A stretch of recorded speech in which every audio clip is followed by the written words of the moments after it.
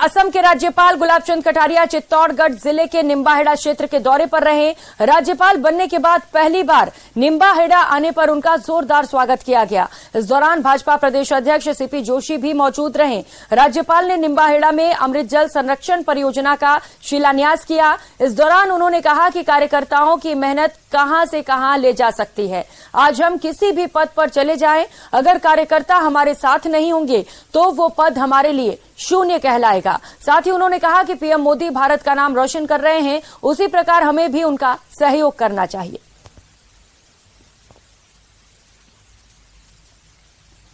और अब बात राजसमंद की, जहाँ राजस्थान कांग्रेस के सह प्रभारी वीरेंद्र सिंह राठौड़ नाथद्वारा पहुँचे। ज़िले के दौरे पर आए वीरेंद्र सिंह राठौड़ का न्यू कॉटेज में कांग्रेसी कार्यकर्ताओं ने स्वागत किया। मीडिया से बात करते हुए प्रदेश सह प्रभारी ने कहा कि संगठन को मज़बूत करने के लिए जिला स्तर पर संगठन की समीक्षा करने आए हैं। अब तक कई जिलों के दौरे कर चुके हैं और ब्लॉक कमेटी अध्यक्षों और कार्यकर्ताओं से मिलकर हालचाल जान रहे हैं। संगठन को कैसे मज़बूत किया जा सकता है, इसे लेकर भी चर्चा कर रहे हैं। साथ ही वीरेंद्र सिंह राठौड़ ने दावा किया कि इस बार फिर से कांग्रेस की ही सरकार बनेगी।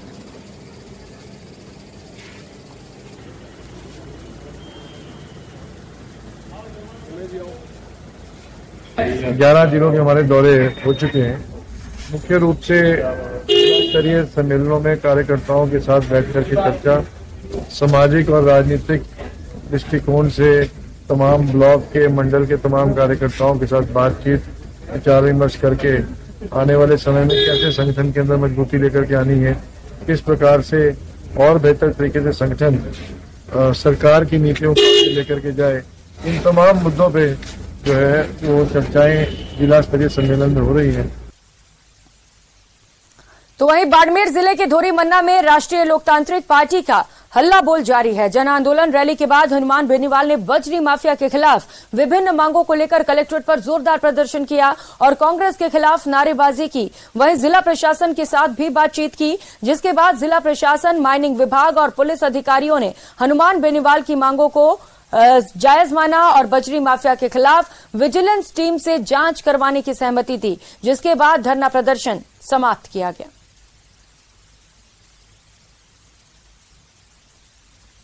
फर्जी तरीके से बद्री माफिया ने गाड़ी कहीं की जा रही रवाना कहीं का दे दिया। तो उसमें बद्री माफिया के खिलाफ मुकदमा माइनिंग डिपार्टमेंट ने दर्ज करा दिया। हमने माइनिंग को दिया और माइनिंग ने बद्री माफिया के खिलाफ नामजद एफ़ आई आर यहाँ पे दे दिए कितने लोगों वो- के खिलाफ सर? वो तो जितना भी उसके अंदर है वो सब लोग इन्वॉल्व होंगे तो जितने भी होंगे कि माइंस होल्डर से लेके जिन जिन लोगों ने रवाना जिस जिस नाके पर किया ये करीब पाँच, छह एफ़ आई आर बनेगी अलग अलग थानों की।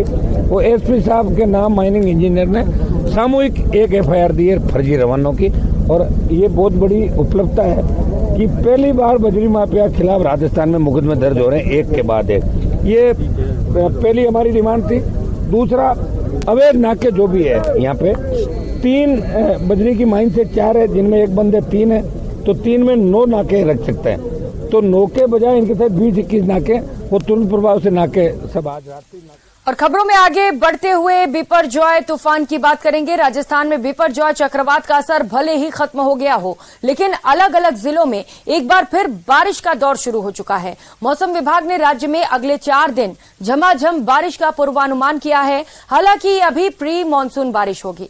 तो चार तस्वीरें आप देख पा रहे हैं। बारिश से जुड़ी अलग अलग तस्वीरें जहाँ पर जयपुर अलवर सिरोही ये अलग अलग जगहों का नज़ारा आप देख पा रहे हैं जहाँ पर प्री मानसून की वजह से सड़कें जलमग्न हो चुकी हैं। तो ये खास तस्वीरें आपको दिखा रहे हैं। बारिश के बाद कुछ लोग जहाँ पर मस्ती करते हुए नज़र आए, जहाँ लोगों को गर्मी से निजात मिली तो वहीं दूसरी ओर कुछ लोगों की मुसीबतें बढ़ती हुई भी नज़र आई। कई लोगों के घरों में भी जल जमाव हो गया, जिसके चलते उन्हें भारी परेशानियाँ हुई। इससे पहले ही तूफ़ान बिपरजॉय का असर कई जिलों में देखने को मिला था, जहाँ पर बारिश की वजह से बाढ़ जैसे हालात बन गए और इसके बीच अब प्री मानसून बारिश की शुरुआत हो चुकी है, जिसकी वजह से एक बार फिर से ऐसा ही नज़ारा देखने को मिल रहा है। तो जयपुर ग्रामीण के विभिन्न इलाकों में मौसम का मिजाज बदला हुआ है। जमवा, रामगढ़, शाहपुरा, टाला समेत कई कस्बों में रविवार सुबह बारिश का दौर शुरू हुआ। बारिश होने से मौसम में ठंडक आई और पिछले कुछ दिनों से हो रही उमस और गर्मी से भी लोगों को राहत मिली। बारिश से सड़कों पर पानी बह निकला। क्षेत्र में हुई बारिश से कहीं पर फ़सलों को भी फ़ायदा हुआ तो कहीं पर नुकसान की भी आशंका जताई जा रही है। तो वहीं शाहपुरा समेत आसपास के कई इलाकों में रविवार सुबह से ही बारिश का दौर शुरू हुआ। तकरीबन एक घंटे से ज़्यादा समय तक बारिश की झमाझम बूंदें बरसती रहीं। आसमानी अमृत किसानों के लिए राहत तो कस्बे वासियों के लिए आफत बन गई। तकरीबन एक घंटे से ज़्यादा समय तक बारिश होती रही, जिसने प्रशासन के जल निकासी के तमाम दावों की भी पोल खोल दी। मानसून पूर्व नालियों की सफ़ाई नहीं होने से जल भराव की समस्या उत्पन्न हुई। गलियों से लेकर मुख्य मार्ग तक पानी ही पानी नज़र आया। शहर के डाबर मोहल्ले, देवन रोड, गंगा मार्केट या फिर ये अलग अलग जगहों का आलम देखिए जहाँ पर सड़कों ने तलैया का रूप ले लिया है। सड़कों पर ऐसा प्रतीत हो रहा था, मानो ये सड़कें न होकर यहाँ पर एक नदी बह रही हो। बरसात के कारण पालिका क्षेत्र के कई निचले मोहल्लों में भी एक से दो फीट तक जल भराव हो गया। तो बीती रात को अचानक झुंझुनू में बदले मौसम के चलते जहाँ लोगों को गर्मी से राहत मिली तो वहीं कई जगहों पर नुकसान की खबरें भी मिल रही हैं। नवलगढ़ के डोंडलोद में बारिश के साथ आए तूफ़ान के कारण कई पेड़ धाराशायी हो गए। झूपा बस स्टैंड पर पेड़ मुख्य सड़क पर जा गिरे, जिससे यातायात भी प्रभावित हुआ। वहीं रात को तूफ़ान के साथ ही बिजली की सप्लाई भी बाधित हो गई। ग्रामीणों ने मिलकर पेड़ों को सड़क से हटाकर यातायात को सुचारू किया। वहीं अजमेर डिस्कॉम की टीमें भी घर घर घूमकर वहाँ पर जायजा ले रही हैं। तो मुख्यमंत्री अशोक गहलोत लगातार कई प्रोजेक्ट्स को लेकर अवलोकन कर रहे हैं जयपुर में और इस वक्त सेंट्रल पार्क से ये तस्वीरें आपको दिखा रहे हैं। सेंट्रल पार्क, ये भी ड्रीम प्रोजेक्ट में मुख्यमंत्री अशोक गहलोत के शामिल है, जिसका इस वक्त मुख्यमंत्री अशोक गहलोत अनावरण करते हुए। तो सेंट्रल पार्क अपने आप में कई खासियत समेटे हुए हैं और कोशिश लगातार ये की जा रही है कि जल्द से जल्द इसे लोगों को समर्पित कर दिया जाए। महात्मा गांधी को लेकर भी यहाँ पर खास जो उनके स्मृति चिन्ह है, वो रखे गए हैं, जिसे लोगों को दिखाया जाएगा, दर्शाया जाएगा और उनके जीवन शैली के बारे में लोगों को बताया जाएगा कि वो किस तरीके से किन विचारों पर चलते थे जिससे कि लोग उनके विचारों को, उनके जीवन शैली को अपने ज़िंदगी में उतार सके और अच्छे काम कर सके। दो अलग अलग तस्वीरें इस वक्त आप देख पा रहे हैं। लगातार ताबड़तोड़ दौरे। मुख्यमंत्री अशोक गहलोत की ओर से एसएमएस के आईपीडी टावर का उन्होंने निरीक्षण किया और उसके बाद पोदार स्कूल पहुँचे थे, वहाँ से भी हमने आपको तस्वीरें दिखाई, वहाँ पर भी अवलोकन उनकी ओर से किया गया और इस वक्त ये सीधी जयपुर से तस्वीरें आपको दिखा रहे हैं, जहाँ पर इस वक्त सेंट्रल पार्क का अवलोकन मुख्यमंत्री अशोक गहलोत द्वारा किया जा रहा है। तो लगातार सीएम का एक ही मकसद है कि प्रदेश में विकास हो सके और यही वजह है कि कई खास योजनाएँ उनकी ओर से बनाई गई हैं, कई खास प्रोजेक्ट्स तैयार किए गए हैं और वो प्रोजेक्ट्स जल्द से जल्द धरातल पर नज़र आए। समय रहते उन्हें पूरा कर लिया जाए। इसी मकसद से मुख्यमंत्री अशोक गहलोत आज अलग अलग जगहों का दौरा कर रहे हैं और प्रोजेक्ट्स की समीक्षा करते हुए उन्हें देखा जा रहा है। जो लोग वहाँ पर कामकाज कर रहे हैं, उनसे भी फीडबैक ले रहे हैं, जानकारी इकट्ठा कर रहे हैं। जो दिक्कतें आ रही हैं, उन्हें भी समझने की कोशिश की जा रही है और इसके साथ साथ जो जानकारियाँ हैं, उन्हें इकट्ठा किया जा रहा है।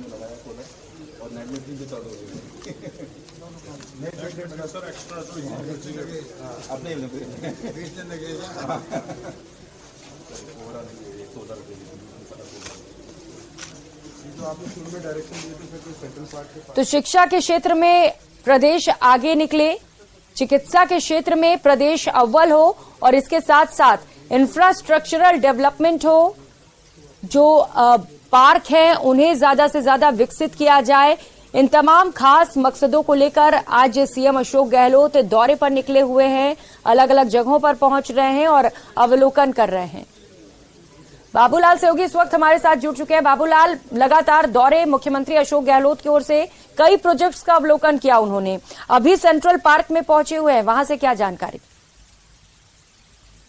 जी, मुख्यमंत्री, गांधी दर्शन म्यूज़ियम का निर्माण कार्य चल रहा है, उसको देख रहे हैं और पूछ रहे हैं अधिकारियों से जेडीए जो है इसकी कार्यकारी एजेंसी है उससे बात कर रहे हैं कि कब तक इसका निर्माण कार्य पूरा हो जाएगा ड्रीम हम्म। प्रोजेक्ट है मुख्यमंत्री अशोक गहलोत का सौ करोड़ रुपयों की लागत से गांधी दर्शन म्यूज़ियम बनना है जिसका काम हम्म। चल रहा है इस वक्त और ये पूरे देश में एक अनूठा म्यूज़ियम होगा जिसमें महात्मा गांधी से जुड़े हुए तमाम जो संस्मरण हैं उनकी यादें ताज़ा होंगी गांधी जी के जो आश्रम हैं उनकी झलक यहाँ पर दिखेंगी। गांधी जी का जीवन पर जिन जिन लोगों का असर रहा वो यहाँ पर नज़र आएँगी। जो पुस्तकें गांधी जी ने लिखी उनकी यहाँ पे यादें होंगी। गांधी के जो आश्रम है उसी की तरह से यहाँ पर भी बहुत सारी चीज़ें ऐसी बनाई जाएँगी जिससे यहाँ पर आने वाले टूरिस्ट को गांधी चिंतक को और आम आदमी को ये महसूस हो सके कि गांधी के सपनों का अगर कोई दर्शन करना है तो फिर इस म्यूज़ियम में आकर के आपको देखना पड़ेगा। तो मुख्यमंत्री अशोक गहलोत अपनी गांधीवादी सोच को आगे बढ़ाते हुए गांधी दर्शन म्यूज़ियम का निर्माण करा रहे हैं और एक ऐसा अनूठा म्यूज़ियम बनने जा रहा है जो आने वाले दिनों में पूरे देश में चर्चा में रहेगा और अगले एक दो महीने बाद में तैयार हो जाएगा। गांधी दर्शन म्यूज़ियम जब बनाने की शुरुआत हुई थी तो पूरे देश के जितने भी विशेषज्ञ हैं जो गांधीवाद से जुड़े हुए हैं जिनके जीवन पर गांधी का असर रहा है उन तमाम लोगों से राय मशवरे किया गया और जहाँ पर भी गांधी के आश्रम है वहाँ पर लोगों को भेजा गया अधिकारी गए वहाँ पर और खुद मुख्यमंत्री अशोक गहलोत गांधी के आश्रमों में जाकर के देख करके आए कि उनको किन चीज़ों से जुड़ाव था उनके जीवन पर किन चीज़ों का असर था। वही चीज़ें गांधी दर्शन म्यूज़ियम में अब देखने को मिलेगी। कुमार प्रशांत एक गांधीवादी चिंतक है जो मुख्यमंत्री अशोक गहलोत के बहुत करीबी हैं। उन्होंने इसका डिज़ाइन किया इस सोच को और फिर सीएम अशोक गहलोत के साथ में इस विचार को साझा किया और तब सीएम जो है इसके बाद में इसका निर्माण कार्य शुरू हुआ है।